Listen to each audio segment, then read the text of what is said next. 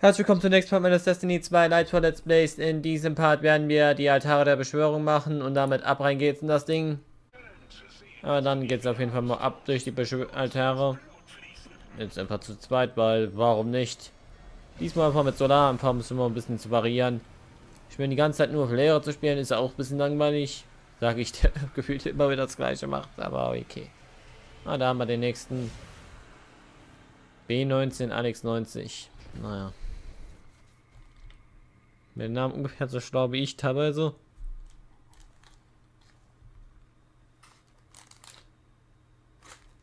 Na, lieber so noch ein bisschen und dann dürfte es eigentlich gar nicht mehr drankommen. So, oder so. Da haben wir auf jeden Fall mal ein bisschen was vor uns. Na komm, machen wir Stufe dreimal. Ja, dann ab rein da. Okay. Ach komm, was ist denn das für einer?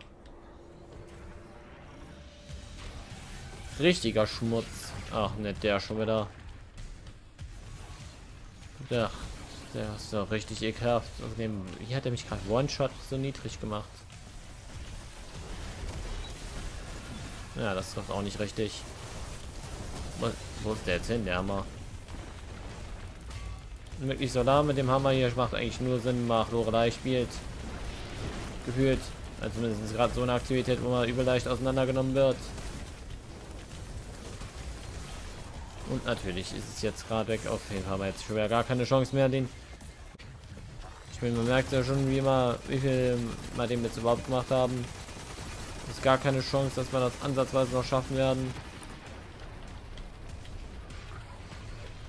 Und vor allem kriegt er dann nochmal sein Schild. Dann sind wir das oder warum auch immer noch so eine zweite Helfbar. Also so eine, ja, egal. Merkt man ja. Ich will mal jetzt so einen kleinen Bruchteil von dem noch bekommen, dass es halt die Frage ist, was genau lohnt sich daran von bleibende Zeit, eine Minute oder sowas. Was sind jetzt hier für, was weiß ich, vier, fünf dran. Das macht wohl wieder alles super viel Sinn. Ja, egal, machen wir aber trotzdem noch ein bisschen Sperrfeuer auf den. Solange wir hier noch am Leben sein, sind. Ja, oder man könnte halt nicht mal die besessenen Kugeln zerstören, die gerade auf uns zufliegen. Zum besten mit der Halbtoten, das ist das Höchste, was wir noch hinbekommen. Aber davon ab wird das auf jeden Fall nichts. Oder, oder doch nicht. Der ist auf jeden Fall noch ein bisschen ähm, harter am Arsch als erwartet. Aber trotzdem nicht mehr genug, damit wir das innerhalb der nächsten 20 Sekunden noch machen können. Na komm, der war es überhaupt nicht. Ja, ich habe jetzt keine RB mehr. Das heißt, ich kann ihm auch keinen wirklich Schaden mehr reindrücken. Und ich bin sowieso jetzt gleich tot. Von daher, ja. Ich bin kurz vor knapp jetzt auf jeden Fall nochmal halbwegs in die richtige Richtung gehen, aber jetzt ist eh gelaufen, weil sich keiner mehr rechtzeitig wiederbeleben kann, um den ansatzweise noch irgendeinen Schaden zu drücken.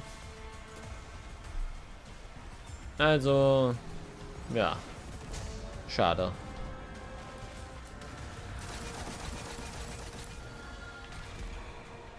Zielvergabe gescheitert und trotzdem Meistermagier bekommen. Ein, schon, allein schon ironisch gesehen wird das auf jeden Fall der Partner. So. Wenn man hier Meistermagier und dann halt zuvor im anderen Part Lichterlohe ähm, Einstimmung. Man muss. Ah, jetzt haben wir die nächste Kandidatin. Ist das so viel besser? Ich hätte vielleicht eine direkt den Ding nehmen sollen.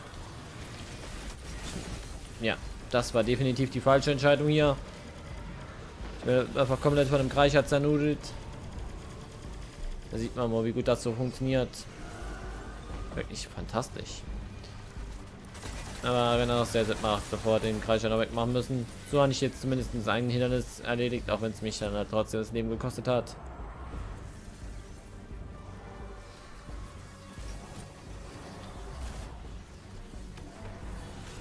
So. Dann sind wir zumindest dem Ganzen mal einen Schritt näher gekommen. So, wie viel? Ja, komm. Ach, hier sind auch noch Kreischer zu neben dran. Na, das ist doch herrlich. Ich meine, jetzt mal ernst. Was zur Hölle soll das? Dass wir hier 5000 Kreischer vor die Nase gesetzt bekommt und noch eine Sperrfeuerhexe pro Kristall. Na gut, das war vielleicht nicht so die beste Idee, den auch gerade da wieder zu beleben. Ja, dann holen wir uns erstmal den Kreischer hier drüben. Und die strahlende Leiterin hier. Haben wir zumindest mal eine bessere Chance hier durchzukommen. Achso, der ist schon aktiv. Ups. Das heißt, ja gut, der Kollege kümmert sich um das Ding. Das heißt, ich kann versuchen, die anderen zu aktivieren, bevor mehr der Kristall die kristalline Ladung ausgeht. Aber wirklich last second. Hätten wir die anderen. Hätten wir auch den Schild davon. Und da war auch die letzte. In die Hexe hops. Wenn wir schon gerade dabei sind, können wir auch noch die anderen Strahlenleiter hier ähm, erledigen. So. Und jetzt geht's an den guten Boss hier. Auch wenn es hier vielleicht ein bisschen besser wäre, so da Woke zu haben. Na, kommt was? Keine Ahnung, wie ich jetzt hier nochmal wegkommen bin. Aber das Gefühl habe ich schon öfters gehabt. Wo ich irgendwo wegkommen bin, wo ich eigentlich gedacht habe, dass ich sterben werde. Ach komm, die Schadensphase wird noch schlecht Ende gehen, wenn das so weitergeht. Und wo zur Hölle kommst du jetzt schon wieder her? Na, egal. Feuern wir einfach mal komplett weiter. Bringt ja wirklich sehr viel. Sehr viel. Und noch so ein anderes Thema mit Phantom Liberty. Da habe ich mich entschieden, das doch nicht zu machen. Da komme ich halt viel zu schlecht durch. Deswegen, ja. Und halt eben, weil das sowieso performance-technisch eher so mäßig aussieht, beschränke ich mich da lieber auf Motorfest und dann halt eben ähm, die anderen zwei, Fate und Assassin's Creed, neben Destiny. So als ob das nicht so schon fast die komplette Woche wäre. Ja, auch, nicht weiter wichtig. Letztendlich nur ein kleiner Programmpunkt, den ich halt nochmal aufgreifen wollte. Ach komm, verdammt nochmal weg damit. Und ich habe nicht mal den letzten Schuss an den Kreischer abzugeben. Ich bin mir daher nicht. Naja, mal die kleinen Pest wollen auch einmal erlegt. Ich Ich schaff's auch wirklich meisterhaft zu sterben. Meisterhafter Tod, ne? Und dann mal Level 76. Falle ich immer so richtig vom normalen Leveling mäßigen ab, dann ist es richtig so. Naja. So oder so kann man es jetzt aufmachen zum nächsten Altar und dann halt eben den, ähm, ja, ich setze einen Teil vor, den Boss Finalteil abzumachen.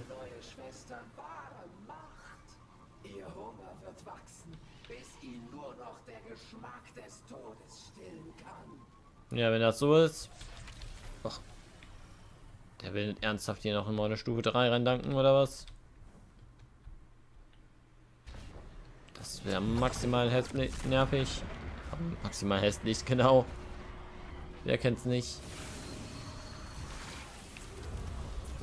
Und da kriegen wir den, geben wir den erstmal noch einen schönen Feuerball.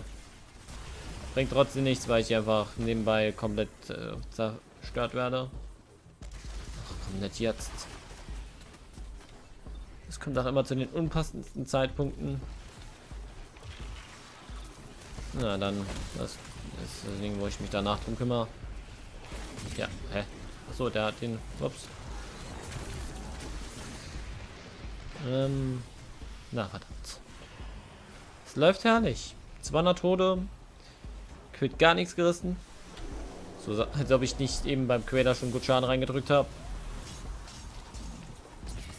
Aber gut, das sind halt so kleinliche Dinge. Kümmern, wir, kümmern wir jetzt erstmal um den Kristall hier. Keine Ahnung, ob das gerade richtig auskam, aber das ist auch nicht weiter wichtig. So oder so haben wir jetzt erstmal den zweiten Kristall hier eingedankt. Und dann kann man uns am besten gleich den nächsten Kristall holen, damit wir dann halt eben natürlich den Rest eindanken können. Stellen Sie sich denn vor. Wenn man Kristalle eindankt, dankt man Kristalle ein. Komme ich an den ran? Ja, aber der wird wahrscheinlich selber wieder aufstehen können, bevor ich den wiedergeholt habe. Oder doch nicht. Das kam unerwartet. Na, dann machen wir jetzt eh erstmal das klein hier ähm, ein bisschen nieder. Wieso komme ich da nicht ran von da oben? Na dann. Hallo? Okay.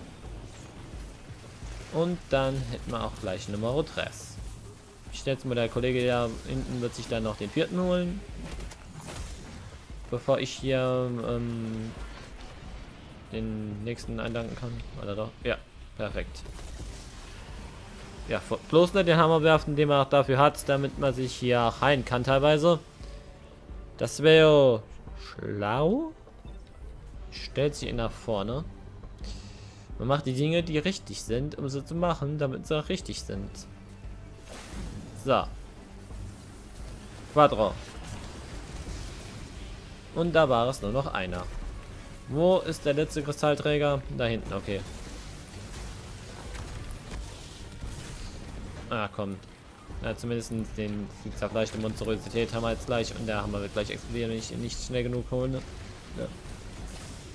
Ach komm. Ja gut, jetzt werde ich wieder komplett auseinandergenommen. Aber das sollte man auch erwarten können. Ich meine, man sieht ja, wie gut das hier gerade funktioniert.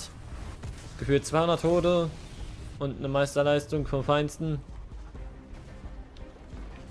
Der Meister ist wirklich in Topform. Ja, dann machen wir es halt so. Da wird die Sache schnell geregelt.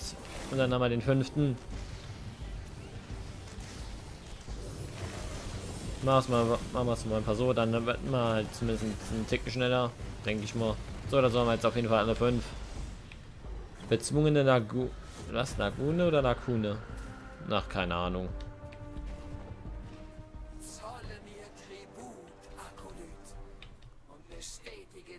Meisterhafter Tribut. Ähm, ja, dann kommt doch auch bitte her. Wir suchen eine Eris. Komm, gönn dir deinen Tribut. Nimm das auf.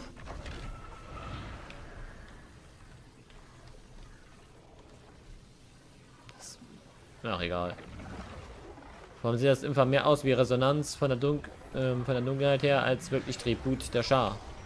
Ah, war das, das war sogar schon die letzte Stufe. Ups.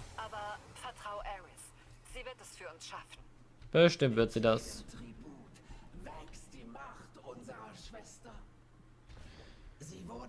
Mhm.